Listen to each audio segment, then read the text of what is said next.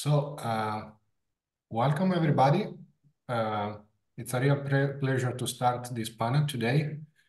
Uh, thanks for joining us. Uh, I'm Andrea Passarella from uh, the National Research Council IIT Institute from uh, in Pisa, Italy, and I have the honor to co-chair this event with my colleague Claudio Cicconetti, also from CNR, on this very exciting topic quantum internet, evolutionary and revolutionary perspectives. Uh, Claudio will introduce our distinguished uh, panel. Uh, the nice thing about the topic is that um, it's uh, emerging, it is disruptive, but uh, we have many, many open directions in front of us uh, from the most disruptive, disruptive and long-term ones to uh, the ones that uh, um, involve uh, concrete applications uh, on which we can already play with, uh, with real devices already today. So it's a really a fa fascinating topic. I believe you are all convinced about that. And we have an exceptional set of panelists to, dis to, to discuss about all these directions open in front of us. Uh, so without uh, losing uh, additional time, I give the floor to Claudio, who uh, is uh, actively working uh, with other people in our group on this topic. Claudio, by the way, has recently won the Quantum Internet Application Challenge 2023, which is a prestigious achievement in the European community working on quantum internet. He will introduce the panel. Uh, for all the audience, remember that you are welcome to ask uh, uh, questions in the Q&A, not in the chat, in the Q&A. Uh, you have uh, the Slack channel that is uh, up for discussion even today or after the panel is, is over. so, I mean, we, we go through the panel presentations and then we collect the Q&As at the end for, for all of them. Okay, thanks a lot again, Claudio. You are on stage. Thank you very much. And I am so excited for being here. And uh, it's a great honor to uh, introduce the distinguished uh, panelists uh, of today. So we have uh, Bernardo Huberman, who is a technology pioneer and a futurist, and uh, currently he is a vice president at CableLabs in the US, where he started the quantum communications activities. And then we have Marcello Caleffi, who is a professor at the University of Naples, and he is an active member of the uh, Quantum Internet Research Group of the Internet Research Task Force, where he co-authored uh, the first Quantum Internet RFC on the architectural principles of the quantum internet.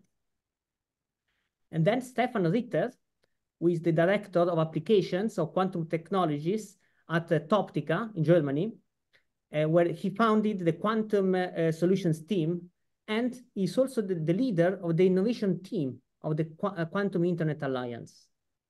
Last but not least, we have uh, with us uh, uh, Stefano Pirandola, who is the founder and CEO of nodeQ and a professor of quantum computing at the University of York.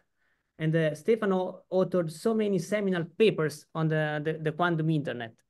It's a pleasure to have you all and uh, we can start, uh, wow, sorry, uh, this should have been a bit before, but we can start in this order, the, the presentation. So we will go with Bernardo first, then Marcello, Stephan, and Stefano, last but not least. Again, please uh, uh, file as many questions as you like in the Q&A uh, button. Bernardo, the floor is yours. I stop sharing. You. you can share your screen. Thank you. Let me share my screen again. Uh, where am I again? Okay. Uh, here we are. Okay, so I'm going to go into presentation mode. Okay, well, I am going to say things that are for the panelists perhaps that are obvious and trivial. I don't know who in the audience is wondering about all this. Not apologies, but we don't see your slides. So maybe... I'm sharing the screen though. Hold it. Oh, that's odd.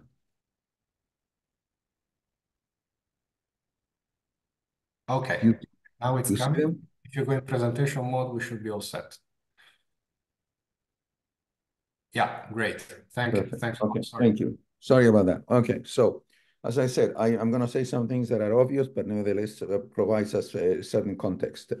So the, the whole thing about quantum networking encompasses many, many things and also certain motivations. Uh, many of you, of course, this is obvious, but there are two remarkable facts about quantum physics that are actually underlying the whole technology. One of them is the idea, the principle of superposition. The quantum systems can be in many states simultaneously uh, until they are measured. And the other one, entanglement, namely this incredibly almost magic uh, situation where separate entities can be strongly correlated and interact almost instantaneously because there is no, no real interaction. They're just entangled over arbitrary distances. And these two things have led, this is 1925, but since uh, the uh, 60s or so, in particular quantum optics people, we've now started to see a quantum engineering effort that is leading to very, very many exciting things. And I, I like to talk about some of them. First of all, the practical implications. Uh, one of them, which is still a little bit far into the future, is the idea that you can build a quantum computer that uses superposition and entanglement to create a massively, infinitely parallel machine. Uh, so there, what I, the, real interesting thing is that this quantum computer not only can simulate real physical systems on a very large scale that today can only be done classically at a, much slower uh, pace, but also can also solve a very interesting set of problems that have to do with cryptography, coordination, and so on. Um, quantum computing, at one point or the other, seemed to be a very um, far-fetched idea, but as I mentioned now, we are starting to see incredible progress. The second one is that you can enable interesting interactions because if you have a system where you can actually have this um, entanglement in particular and superposition, you can make communication systems super secure, okay, as well as solving coordination problems. I'm going to give an example very soon that are impossible to solve in a classical world, okay. Now, the most important thing is that uh, eventually, and many of the participants in the panel are noted for the, pushing this idea, the idea of an entangled web, the idea that eventually we'll end up with a network, hopefully, you know, uh, next to the standard internet that will allow us to interact with quantum computers and with each other using quantum protocols. And that is something that is an incredibly active um, activity in many countries, in particular in, in Europe. So um, I think that when we talk about security, we know that there are issues that we care about, and confidentiality, integrity of the data, authentication, and cryptography. Now, this is something that has been going on for many, many, many years. And the important thing now is to, of course, to um, see why is it that quantum offers a solution that before that was not available. Well, here, before I do that, let me just give you a little bit of a sense of what classical computers and quantum computers can do. There are many problems like factoring very, very large numbers, uh, simulating a chemical reaction at the molecular level and so on, that it would take, in particular for a classical computer, many, many, many, many hours. If you have a many-body problem of uh, 10 to the 20 particles and you want to see all the interactions evolve in time, it would take almost thousands of years to do that, including the problem of factoring. Quantum computing, on the other hand, can do that in minutes. And this is not just a claim that we make on a paper.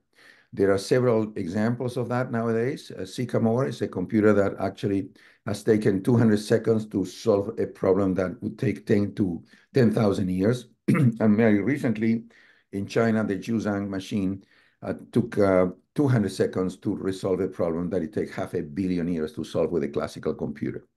Doesn't mean that these things have scaled to the point where you can actually use them and program them. I mean, that's a little bit too far. And I'd like to mention to those in the audience, I mean, here the experts know that the big problem is not so much to create these qubits, which are the quantum bits in a computer and to move around, is the error correcting problem. Because as you know, systems decay very quickly when they interact with a classical environment. So error correction is really the stumbling block in a way for making a computer like this. So there are two solutions to the problem, authentication and security in telecommunications. And there are two camps uh, actually in this. One of them is called the so-called post-quantum cryptography.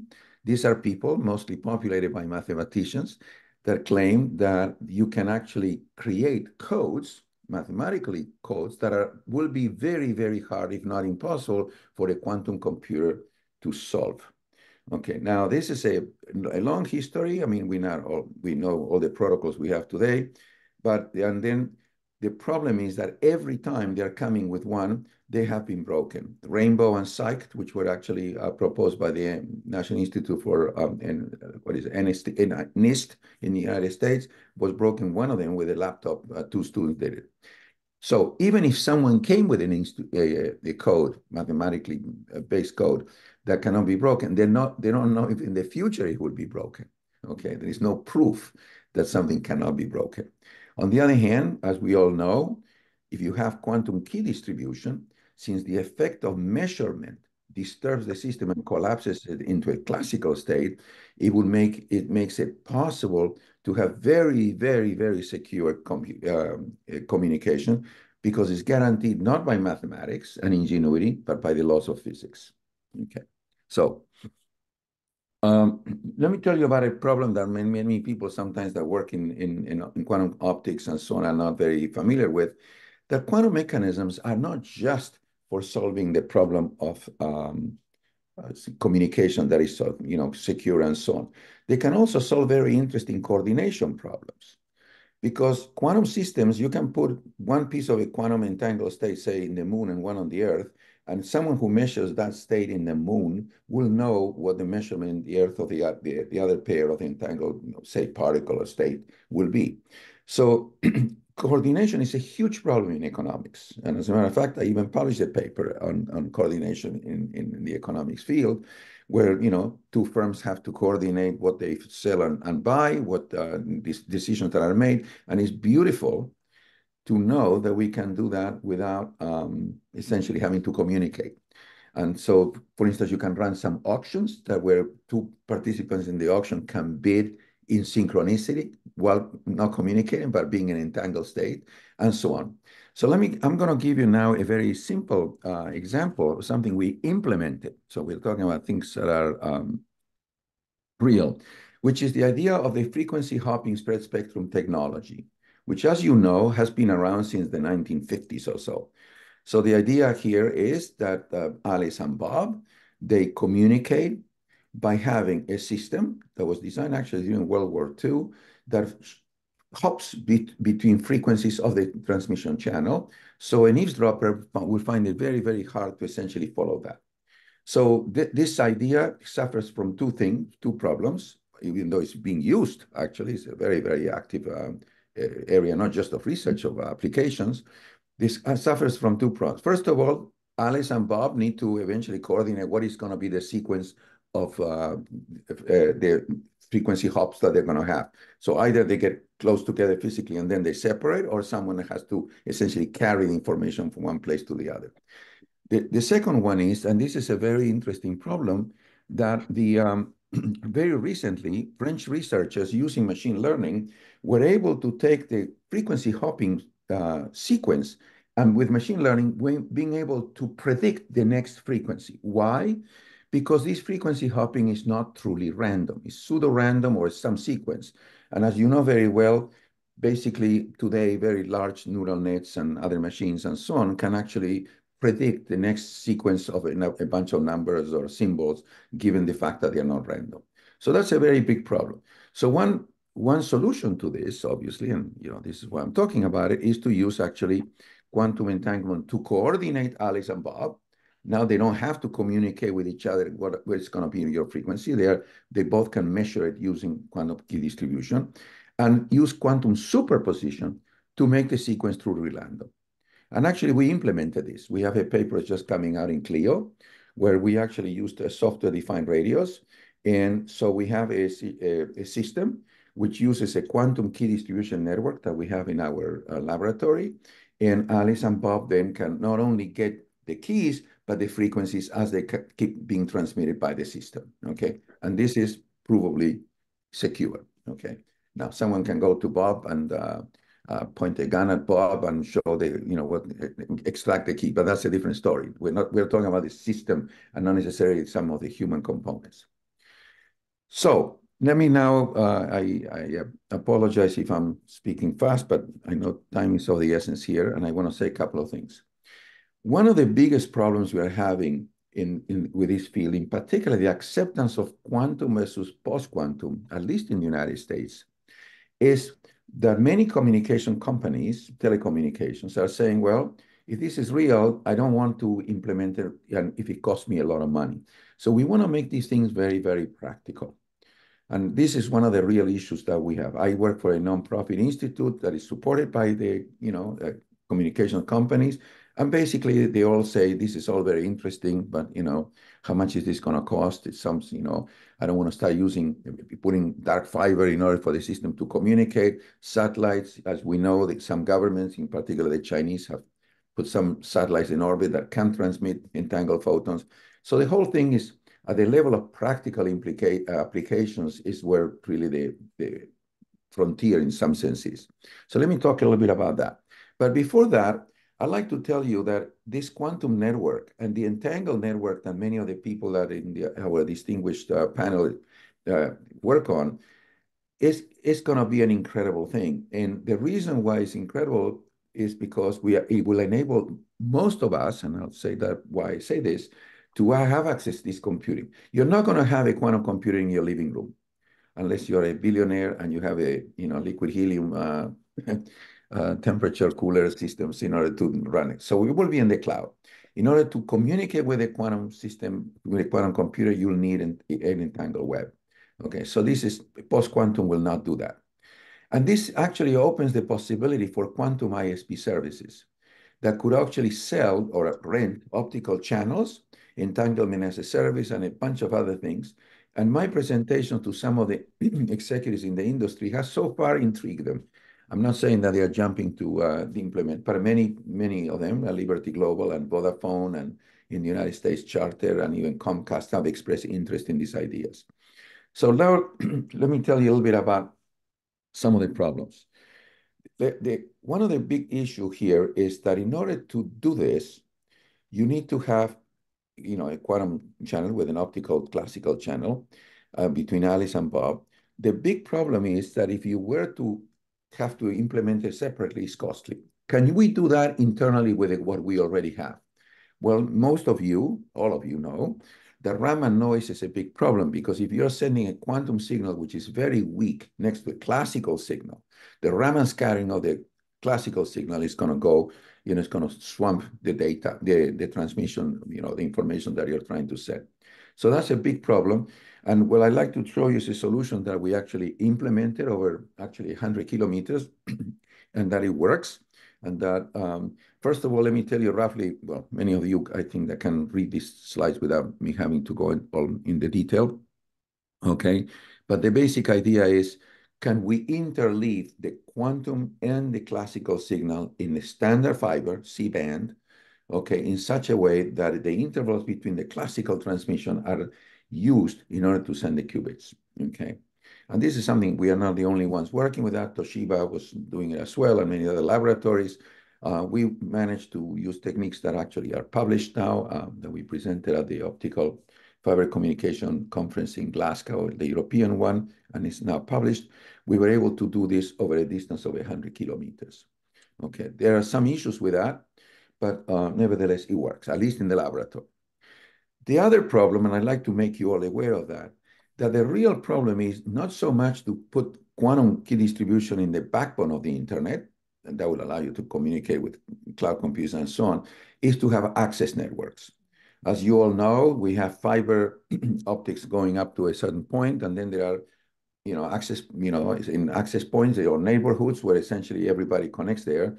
So the issue is that while today we're doing point-to-point -point transmission of qubits, a much more challenging problem is to do point-to-multipoint, okay, which is using the PON technology. Now, point-to-multipoint has been tried, and actually there are several papers that describe that, but to do that using the standard channels of the fiber that as that's described is still a, a, a, problem that you know is not completely solved. Well, I, I looked at my watch, I realized that I spoke very fast and I said many things. So I would like to stop here and next let the next one speak. Thank you very much. Thank you very much, Bernardo. That was very insightful. Okay, let, let's move uh, to the to the next speaker then with uh, Marcello. Yep. When, when when you are ready, you can share the slides. You have eight minutes. Floor is yours. Uh, can you hear me? And don't remember if I have. Okay, so uh, quantum internet for what, why, and how? So in our lab, we have uh, the, the main core is about the design of the protocol stack. This is what we do. We would like to design a protocol stack for the quantum internet. Why the main or the killer application or one of the, the, first application of the quantum internet that we write about was distributed quantum computing? Because if you interconnect multiple quantum computers your computing power scale exponentially instead of just linearly uh, like in classical computing. And how this is the the key word that i will try to spread during the these five minutes is entanglement Entanglement generation distribution is a fundamental task. Why? Because networks, quantum networks, are real quantum networks only if they exploit entanglement. And it's true that um, the, the, there are several tests beds that we are deployment over the world, but please let me stress the fact that unless these test beds share entanglement, from our perspective, they are not true quantum networks. They're just classical networks equipped with quantum security. So you can find several testbeds where single photons, so qubits, are spread over hundreds of kilometers. Instead, when it comes to distributing entanglement, the distances and the testbed are much more limited. In our case, we are trying to distribute entanglement over C-band, like was saying uh, Bernard before, coexisting with classical uh, channel, classical communications. But the core is that we don't want to share qubits, we want to share entanglement, and this makes everything much more complicated. Okay, so uh, part of this presentation is taken from a couple of papers. You will find the reference here. Now, the, the name of this uh, panel is evolution versus revolution. Okay, and here I'm saying that I'm with the revolution side of the of the world, and I'm first question is: Can we evolve classical internet into quantum internet, or should we revol- Should we go with a revolution? Okay, so what is evolution? Gradual changing. And if I have to make an example of an evolution from a network perspective, I will say wireless LAN versus local area network versus Ethernet. That was for me an evolution. We had a protocol, a set of protocols, a couple of protocols, a couple of layers for interconnecting computers with a cable, and then we changed something, physical layer, and something also in the um, uh, link layer, and we had an evolution. And what is a revolution? Well, I think that packet versus circuit switching was the real evolution from a network perspective in the last century. Before of this evolution, we need to go back from telegraph versus postal services. And I want to point out this uh, Spectrum article, the internet that wasn't, is not so cited, but for me is a very interesting perspective about the what was called the protocol. So uh, TCP/IP versus circuit switching was a revolution. Now, what is the distinctive feature of a quantum network?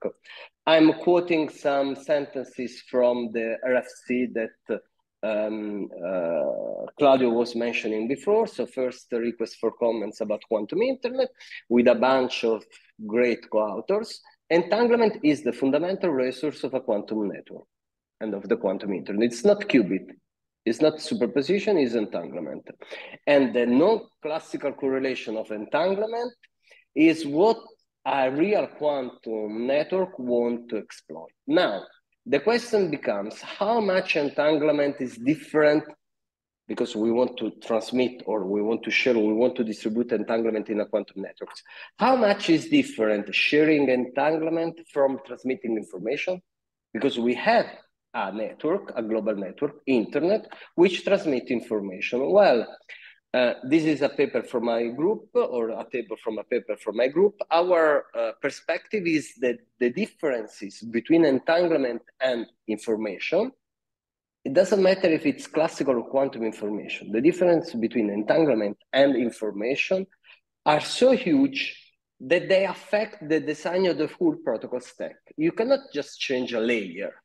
Changing a layer will be an incremental evolution we need to redesign the protocol stack. And I will try to give a couple of examples. Quantum information is a local resource. It means that there is one node, the forwarder node, the transmitter, it depends from the perspective that you have of the network, which is in charge of transmitting, so of stepping uh, down the information through the route. Uh, and there is only one node at the time that has the information that can manipulate the information without coordinating with other nodes. Entanglement is a non-local resource, which involves at least two actors. And these actors, if, that can be more than two if we have multi-party entanglement, need to coordinate before using the entanglement. And a coordination among multiple nodes is not something that has been solved in the classical network. And the value of entanglement versus the value of information is radically different. Information, when you have a packet, there is only one node that can be, that can have a value, can benefit from this information, the receiver. The other nodes retransmit in the store and forward paradigm of classical internet the information, the protocol, the, the packet, sorry, just to help the network, but they don't have any uh, practical or theoretical value in retransmitting the information. When you have entanglement, entanglement is a global resource. Any node that share entanglement with another node can benefit from this entanglement. So the value of the resource is regardless of the concept of transmitter and receiver. There is no transmitter and there is no receiver. There will be one node exploiting the entanglement, which has been shared by several nodes. So, from our perspective, designing the protocol stack for the quantum internet requires a major paradigm shift. We believe that we are closer to the revolution side of the network design more than the, uh, the evolution side. Now, let's say that we have to make a design revolution. Well, there is a good aspect from our perspective, or at least from a perspective of a professor that is teaching computer networks with the same books that he was using a student. And the books are two, either Kurose-Ross or Tanenbaum, and they haven't been changing in the last 30 years. So every year that I start my class is with the same slide. Well, and why is that? Because classical internet has this hourglass shaped architecture. Now, the good thing is that I want to stress that this picture has been used or has been uh, presented by Steve Deering during his plenary talk at IETF, which is the Internet Engineering Task Force plenary talk in 2001. So in 2001, they were already aware that we have an issue with IP but there was no incentive in changing IP because the rule that I try to teach to my computer network student is if it works, you don't touch. And this is a fundamental rule for anyone which has been in a server room or in a switching room, okay? So we have IP, which is the winner of the internet evolution. And this should be like TCP/IP implementation, which is still practically the same since 1979. So it means that while all the uh, IT infrastructure has been dramatically evolved over the last 40 years, so kernel, modular versus monolithic kernel in operative systems, uh, programming languages, everything has been evolved. Uh, network professors were stuck with Kurose-Ross, Tanenbaum, IP, uh, Ethernet, and uh, Aloha for, for more than 40 years. Well, there is a good news from a teaching perspective.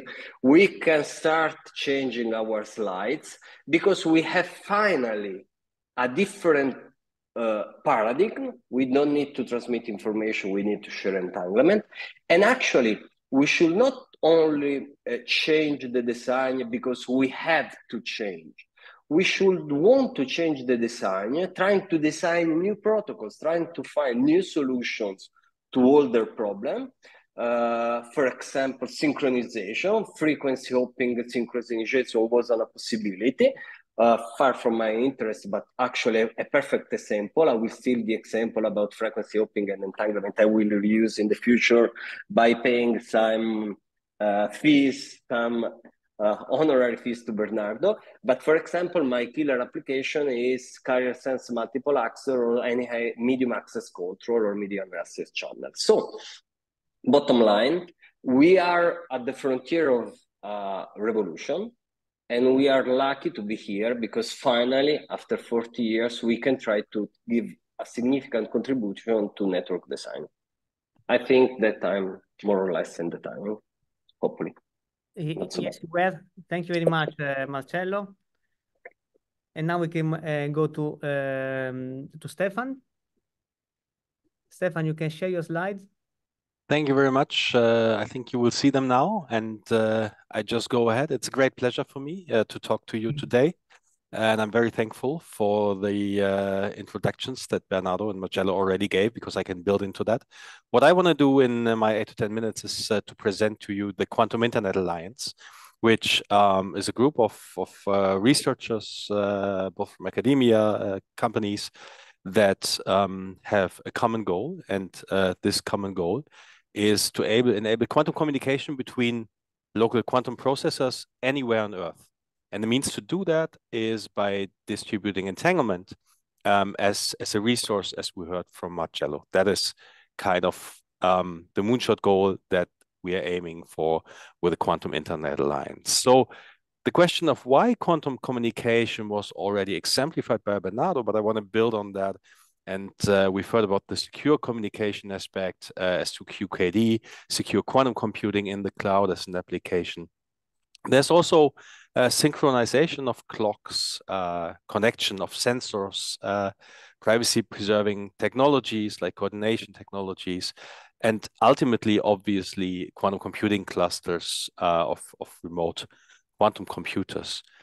Let me say that use cases for the quantum internet are still heavily under development. And I think what we need is some co-development of uh, the technology to build it, the software and, and the application space. What's super interesting about the quantum internet is that the functionality um, that, that you have kind of defines which protocols you can run. And the more advanced the technology, also the more challenging the technology, the more different things you can do. So certainly we are at a stage where we have trusted repeater networks uh, for doing QKD. Um, but what we aim at with the Quantum Internet Alliance is for sure quantum memory networks going all the way to quantum computing networks that can enable all of the different applications that the quantum internet uh, can have in stock. For this, we've gathered a quite diverse group of uh, stakeholders and, and uh, partners participating in this, quite a few universities and uh, research institutions, because this in part still is fundamental research, but already also research and technology organizations who have experience with uh, bringing things uh, into the market. Uh, significant industry players. We are super proud to have quantum startups on board, quite a few, um, and, and other partners that are all sharing this same goal. Now, why why do we still need such a such a diverse group? That's because um, word is not out yet as to which technology is best suited for this. At the heart of all quantum internet technologies are quantum memories, um, kind of quantum storage devices that you can write into and read out of uh, photonic quantum information. And this can be something as simple as a trapped atom or, or ion. It, it can be an ensemble of that called atomic gases. It can be dopants in, in solid state, like like praseodymium or, or color centers in diamond, but it can also be completely artificial systems like like quantum dots, for example. All of those serve well as quantum memories. And you might wonder why I am coming from a quantum uh, information background, uh, but now since many years working for a laser company, uh, I, why I'm involved in that, and uh, why Toptica is involved in that, and that's because all of those quantum memories have different transition frequencies and require very very different lasers uh, in order to initialize, address, manipulate, read out these quantum memories, and do the interconnections via the network. So as I said, it's not clear yet which system is going to be, be the best. There's certainly going to be hybrid systems. We have many approaches with quantum wavelength conversion that all of them need need different lasers um, in wavelengths, in power, in, in frequency stability and, and phase noise. Uh, obviously, it makes a difference whether you have them in a more research-like setting or whether you want to deploy something in the field. In a way, the good thing from an economic perspective is that there's lots of synergies with what we do on the hardware front in quantum internet with uh, quantum computing because basically they're using the same qubits and also optical clocks have strong relations to this. In QIA, um, we are aiming for a twofold effort. One is to build a prototype network where we can validate all of the key subsystems. But then also we want to be an innovation hub um, for this new technology that engages with all types of stakeholders. So let's talk a little bit about um, the prototype network that we're building. It's meant to be full stack, um, consisting of metropolitan networks that uh, are interconnected by quantum repeaters. And, and that's because you cannot use classical repeaters because quantum states cannot be copied, they cannot be cloned. So quantum repeaters is, is a way to, to mitigate that. Uh, the metropolitan networks can be um, either full-fledged processing nodes or photonic clients um, with limited low-cost um, functionality, but still useful for some very interesting protocols. On that, by the end of the decade, we're going to run uh, test programs, namely teleportation, prove that we can operate above the classical limit, and blind quantum computation. As I said, there's co-design with the use case team uh, engaging with early adopters.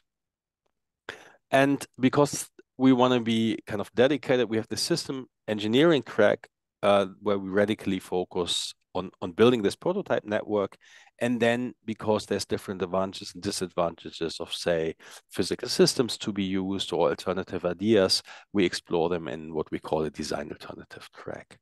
We have an architecture team to coordinate uh, on the technical side, also support with modeling and simulation. Uh, I talked about the use case team um, doing protocol analysis, for example, also engaging with early adopters. And we have the innovation team to to make sure that uh, all the technology um, is there and, and is for the good um, of, of the society.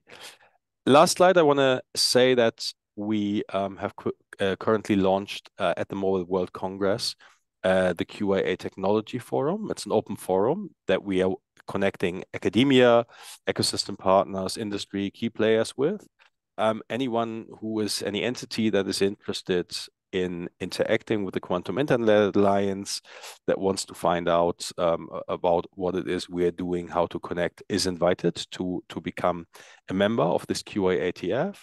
And uh, the work that we are doing is organized in special interest groups on, on different topics. The first two are already forming.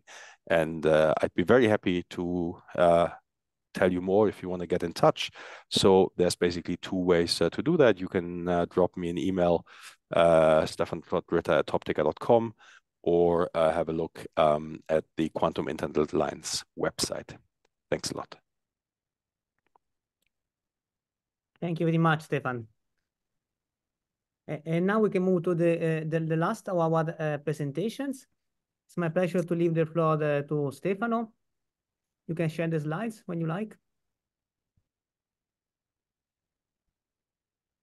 Thank you very much, uh, Claudio and uh, uh, Andrea for, for this uh, invitation. So uh, can you see the slides? The slides, yes, sorry? but not in full screen, however. Yeah. can you see now? Okay. So, okay. Sorry, sorry. Okay, so uh, thank you much uh, again. So, uh, yeah, um, I'm here to um, participate. This, this, there's a very nice uh, interaction, and I'm CEO of nodeQ, uh, which is a startup company uh, dealing in the quantum security and quantum networks, and I'm also a professor in quantum computing and information at the University of New York.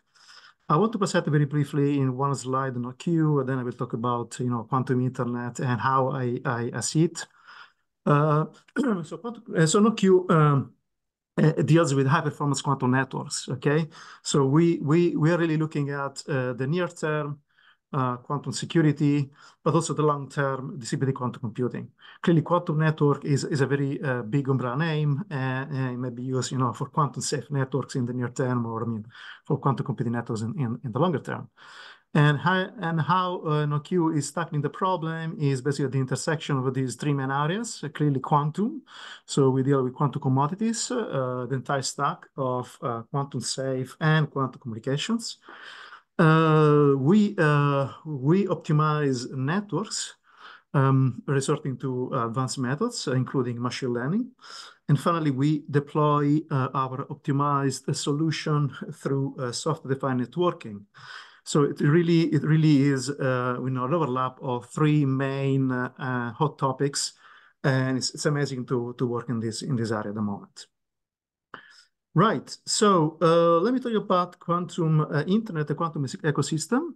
So uh, again, quantum internet is a very uh, big umbrella entity, and there are three main interconnected techs that we can consider. Of course, quantum communication, which is from the from QKD uh, to uh, network quantum computers, interconnected, quantum compute itself that provides exponentially faster, you know, uh, computing performances, but also quantum sensing, so things like improved detection, imaging, pattern recognition, and so on. And all these areas can be I mean, beautifully connected by, uh, by the quantum internet. Now, uh, in terms of quantum inter development, I um, let me share this kind of you know stack of uh, process. So uh, I have like a layer zero security and layer layer one security. So I put like a security the security problem at the, at the very bottom of this of this stack. Now, post-quantum crypto is not by itself quantum, but it is a quantum enabling technology because it may be used for, for example, authentication in quantum distribution. And, and anyway, it's a quantum related, quantum related, uh, you know, uh, commodity notion to, to be considered. That's why I put that in uh, level zero security. And again, it's, it's, it's important for, for, for authentication anyway. Uh, we have QKD connections. QKD uh, is, is very important. Is the very first, you know, uh, let's say, cheaper way to, to, to, to create a quantum network, in this case, a quantum safe network. Um, we have uh, around also a classical quantum cloud, so the possibility to connect through the classical internet to quantum processors. So this is happening today. And perhaps this connection may also be quantum secure at some point. But I mean, this is a certainly technology which has been developed a lot in the in the very last uh, years. What is more challenging is repeaters, so creating like uh, devices that are able to distribute entanglement between remote parties and interfaces like you know uh, trying to um, be able to convert, especially between different uh, frequencies. These are very uh, important enabling technologies for, for, for quantum internet. I will, I will tell you more about this.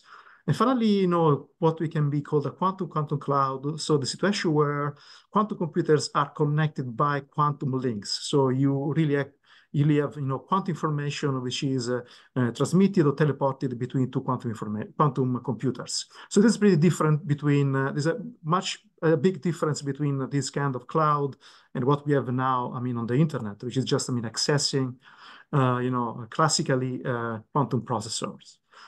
Right. So uh, the important point is that quantum quantum cloud, I mean, the, the fully quantum, you know, uh, cloud is, is likely to have like an hybrid structure. So we need to interface different technologies. That's why I put interfaces at the very top here uh, level. So we have like a quantum communication, quantum processing, quantum storage, and these are all based uh, uh, with, I mean, the, the best technologies for these different tasks are based on, are, are different basically. So use photons for quantum communications, uh, probably you want to use superconducting for quantum processing, and for quantum storage, you probably want to use solid state, uh, like uh, you know rare earth crystals and so on. So this is a very important. See, this um, structure uh, has to be hybrid. Now, uh, just want to be quick on the quantum cybersecurity part. I tell, okay, we have like a post-quantum crypto on QKD at the very uh, at the very basis, at the very bottom of this stack. And we are, we are deploying this stuff, okay? So we have like a piece post-quantum crypto is today, and it's based on computational security, uh, and it's, it's really a very fast solution. Clearly, I mean, with these uh, with its restrictions, but I mean, it's, it's very quick and it's very near term also in the market. Uh, we have QKD, which is stronger in terms of information security because based on the laws of quantum mechanics, and there are, I mean, a lot of protocols are going are being developed, and and well, uh, there are national backbones currently being developed, like here in the UK, but also in Europe and so on. And, and security uh, for QKD, I mean, is a set different approaches. I mean, like uh, we, have, we have a standard QKD, which is really point to point based on trusted node trusted nodes. So it's a level, a lower level of security, higher rates, but then we may, we may go up into the, you know, security level by using, for example, measurement device independent uh, QKD or even device independent QKD. So, uh, I mean, there's a lot of, uh, you know, uh, full zoo of uh, protocols and approaches that uh, are, being developed and tested currently. But let's talk about, uh, you know, the, the most difficult part, which is uh, repeaters. Okay, I put here, I put entanglement distillers and quantum teleporters, which are uh, uh very important devices. So um, what you want to have is that uh, you want to, first of all, you have uh, to create, let's say, a distributed quantum computing, you know, environment or a really true, you know, quantum internet where two quantum computers are going to be connected. You really want to distribute entanglement, okay? Oh, well, I mean, to be honest, you have different approaches. Either you can send quantum information in a reliable way using a quantum error correcting code. That's an op that is an option. But I guess the most, uh, uh, you know, uh, accepted the way to do that is by distributing entanglement. And um, so uh, why you want to do that? Because of if you have distributed good entanglement, then okay, you, you can teleport. Okay, you can directly teleport quantum information from one one computer and another. So the, the, the possibility to create, uh, you know, uh, mm, very good distillers, uh, uh, distillers of entanglement is, is fundamental. Because, I mean, you really want to have, I mean, this kind of, you know, uh, EPR pairs or, I mean, Bell states, which are, entangled particles, uh, I mean, very good, I mean, with high fidelity, distributed between two, two remote parties.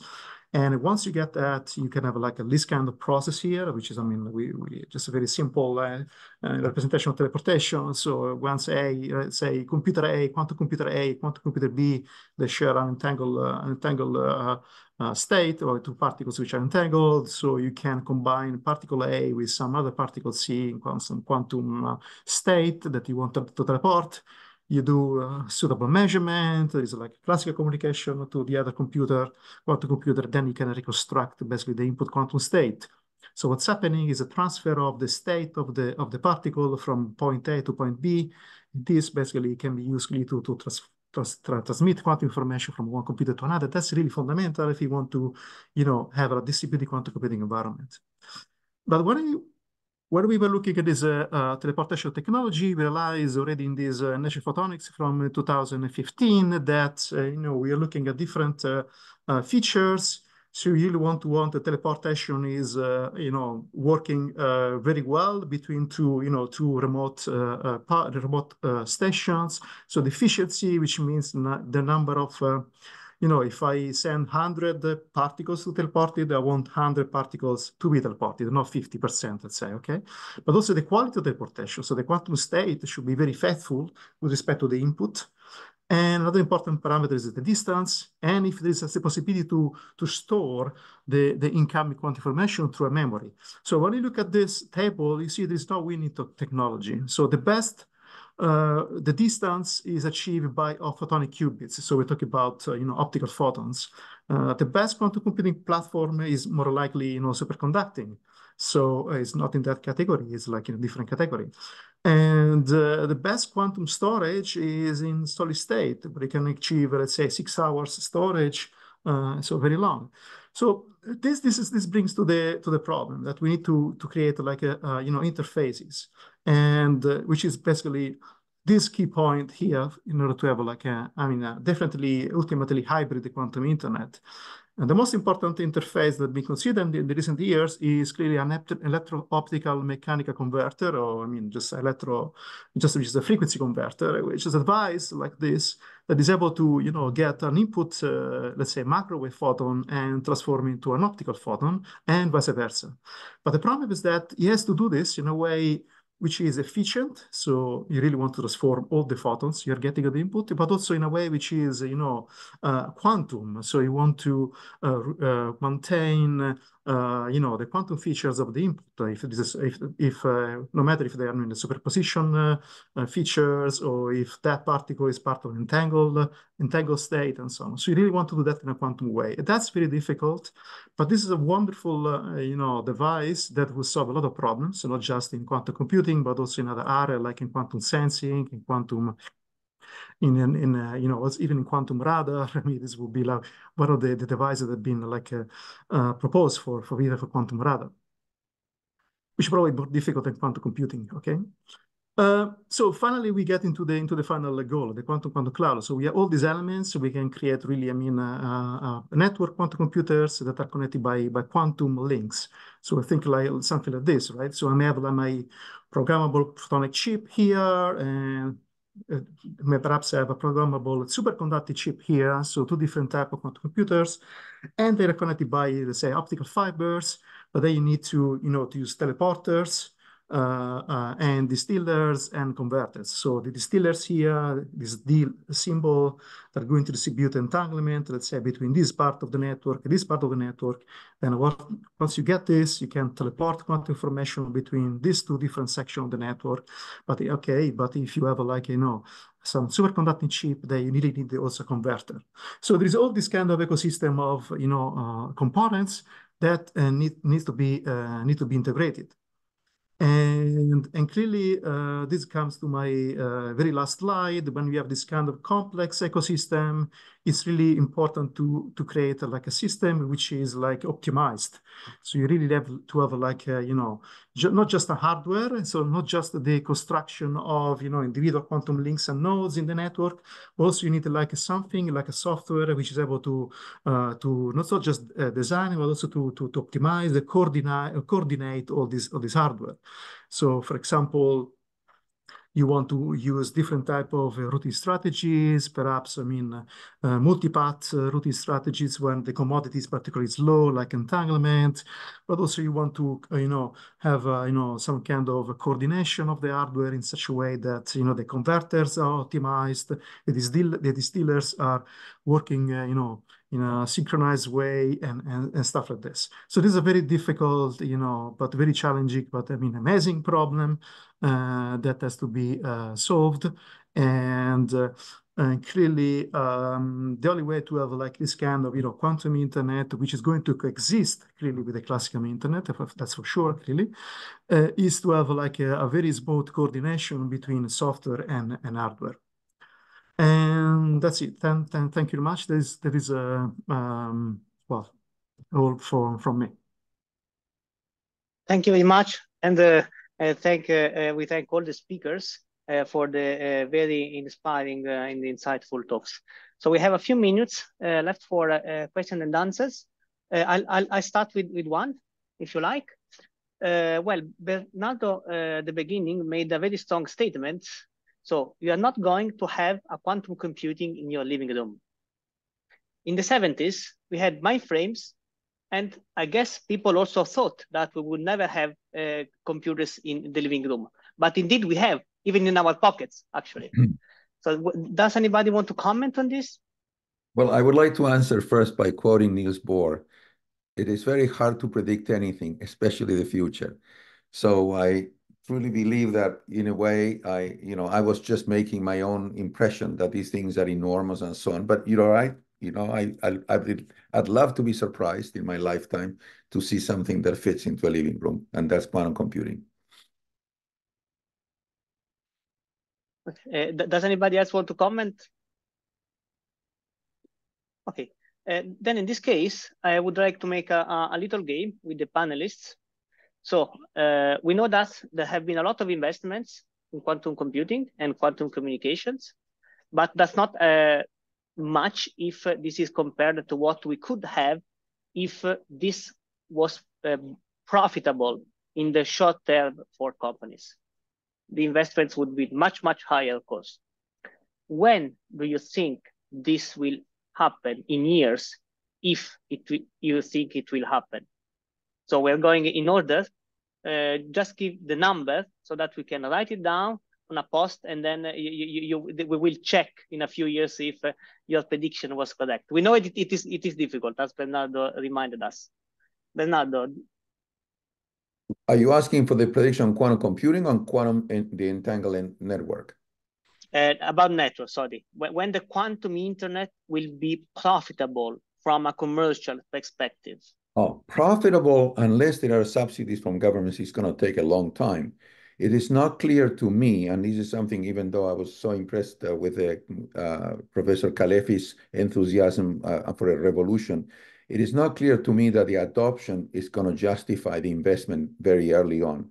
So I think we're seeing already, you know, the early things. But when you say when, I would say that perhaps in 10 years we'll see the embryonic uh, deployments as whether or not you make money of this or not is, is a very complicated question. So, but we see already the early uh, stages of this, but most companies, especially telecommunication companies that are involved in this, are looking at it, they're observing, but they are not interested in putting the immense infrastructure that would require at this point, unless you can convince them that you can use uh, standard fiber and quantum computers are around the corner and they won't cost that much. So I cannot venture in, a year, but um, you know, uh, I'm sure other people will. Marcello, do you want to to give it a try? You're muted. When classical internet became profitable for professors since the beginning. For uh, telecommunication companies, I will say 10 to 15 years. There can be a possibility to start commercializing quantum secure quantum communications for military applications. This is something that it's out of the corner around the corner. But if you're asking when the economy of the quantum internet will be paragonable to the economy of the classical internet in terms of revolution, well, when there will be people able to invent applications out of this technology and professor or researchers are not the right people I mean, there was Bitcoin at the beginning. No one understood the the. I'm not saying that Bitcoin is uh, there has objective value, but at least right now it has an economical value. Why everyone involved in Bitcoins security like us is not millionaire? Because we don't understood the application. So a number 25 years. That's a number that the time required for classical internet. Okay, thanks. Uh, Stephan? Right. Uh, giving a number is always hard. So uh, what I want to stress is that you have um, this this different aspects and use cases that are kind of building on each other because uh, technologically uh, they have kind of growing growing uh, demands. And and so I don't think that there's going to be like one stage, but it's going to grow gradually. And it's by no means a given that this is going to happen. So, so what what we are really concerned with, kind of from from the uh, technology side, is to make this happen uh, in the first place. When whenever whenever things are ready. Um, if I have to give something, ten to twenty years.